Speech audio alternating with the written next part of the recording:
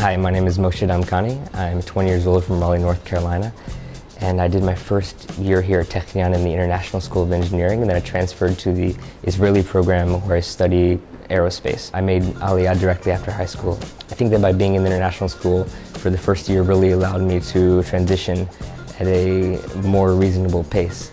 First of all, you know, you have an extra year to learn Hebrew and the international school offers beginner and intermediate courses and you know learning Hebrew here in Israel is different from you know studying from books in America because you can actually go out and like use it and improve and really have a good foundation for, for when you enter in to the Israeli program. The international school uh, really values and cares you know, infinitely more uh, of its students, you know, as, as individuals and gives you so much more attention and uh, you know like personal tutoring uh, to help you like deal with the academic level at Technion.